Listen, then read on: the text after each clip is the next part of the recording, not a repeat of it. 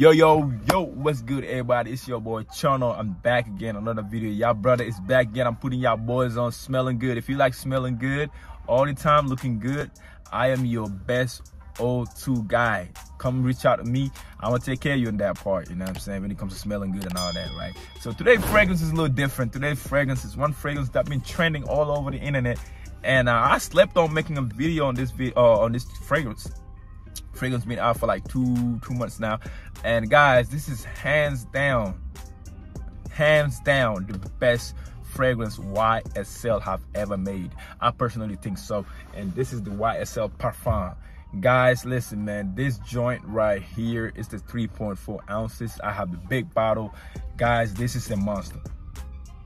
Oh my gosh. It's, it, it's guys you need you, you you i'm not gonna spray this just to waste the juice man Oh my gosh, guys, this is this is this is all you need, man. I get that little bit of oud in it, just a little bit oud, not too much.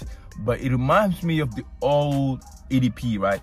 EDP, that's the why I said remind me of that. But guys, this is a monster. This right here is a different beast. I see the reason why they sold out of this one for a while and they brought it back again but guys this is a monster. I would suggest you like you know personally i don't know the notes. I don't i would suggest you to go ahead and grab this for real man. Grab this for real. Like i said i'm the whole new to the personal uh fragrance world right now. So i'm gonna put the notes on the side so you guys can read through the notes and you know you can understand what the notes are in the fragrance but i don't know what is in that fragrance but that joint smell good guys. This joint smell good.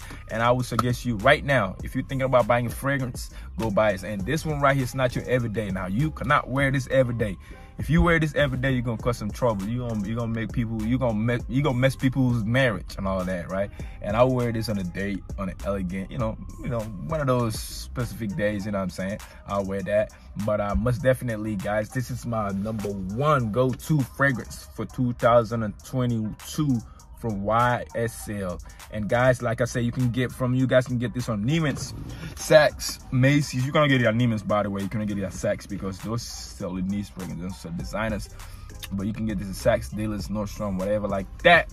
You can get this for like 140, 150 for 3.4 and plus the, the amount of damage it does come on guys. It every penny. So you got to go ahead and grab this.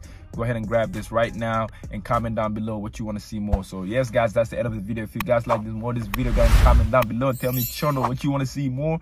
I will try my best to give you guys these bangers. But for right now i'm out. Peace